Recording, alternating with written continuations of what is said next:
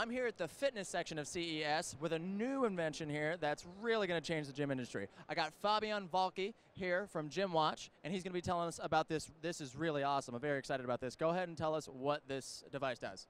Yeah, the GymWatch sensor is a new fitness tracker that counts your reps, that measures your strength, and it can even detect incorrectly performed exercises in over 900 fitness exercises. That's the part that blows my mind is that it can detect incorrect exercises. That's amazing. So, so how does it work? It, it pairs up with a smart device like a tablet or even a, like a phone of some sort. Correct. You can connect it to your iPhone, your iPad, or your Android smartphone.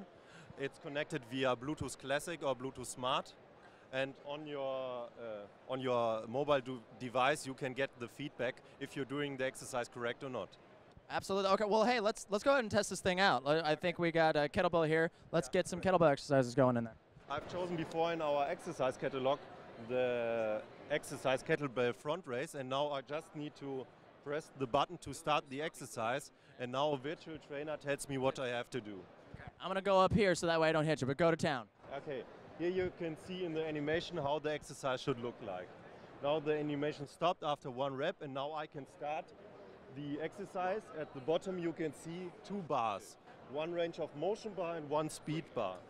Now the sensor counts every repetition of the movement. Now if I'm doing a wrong movement like this, wrong execution. The sensor detects this wrong movement. Or if I'm doing too the fast. exercises too fast, you can see too the fast. label switches to too fast.